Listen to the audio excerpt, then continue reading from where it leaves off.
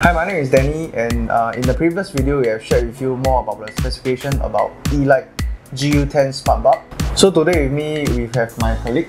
Hi, my name is Austin. So today I'll be representing the Philips Hue uh, Smart Bulb. Uh, we'll be comparing between the Yeelight Smart Bulb and the Philips Hue Smart Bulb. Without further ado, let's get on to it.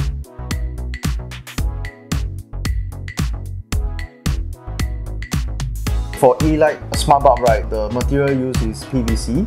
Uh, so it gives this very glossy feel compared to Philips Hue it's a bit more matte. Philips Hue is reinforced uh, PVC. It gives me a more steadier um, feel of the light bulb and it's heavier. It has this uh, protrusion of the lens so it gives you a wider angle. Both are tritone and they also have the RGB uh, components as well. So for Yeelight smart bulb, right, it's actually at uh, 2700K to 6500K mm -hmm. in terms of the tritone, uh, whereas for RGB is uh, multicolor.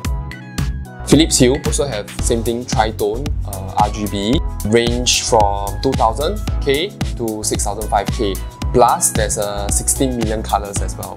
16 million colors? Yes. Mine, mine is multicolor. I think Ma it's just a way they market. Uh, for Yeelight GU10 bulb, the wattage is at 4.5 watts. Philips Hue will be 4.3.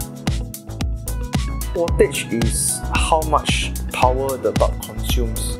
Lumens is what means that the brightness are bulb, how much light you can get from the light bulb. So higher the lumen, brighter your light bulb goes. If we compare um, the Philips Hue and the Yeelight, even though both is at 350 lumens, Philips Hue is brighter than Yeelight. In terms of energy saving, Yeelight consumes about 0.45 watts. Philips Hue will be 0.5. For smart bulb, you usually have to leave the switch on and uh, we will on and off it through the app itself. Mm -hmm. So while it's at the off mode, right, it will be at standby mode. By this standby mode it's not totally off. Yeah, so there will be a significant amount of electricity consumption to let the app communicates with the bulb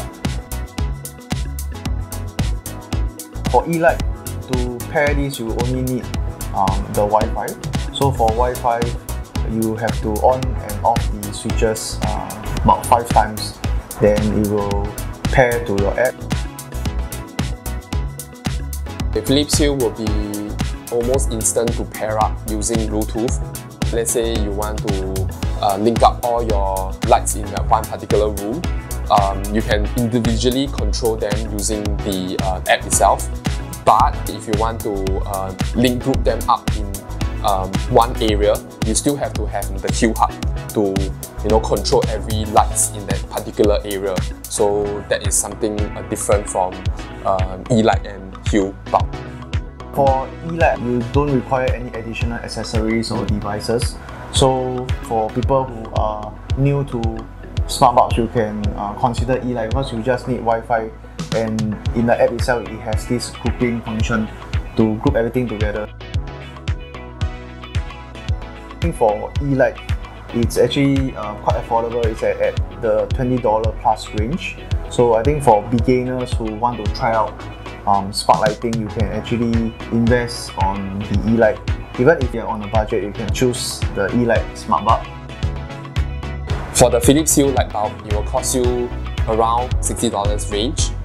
If you have more money to spend on, you can invest on the Philips Hue light bulb. If you want to have more advanced features, you can consider the Philips Hue light bulb.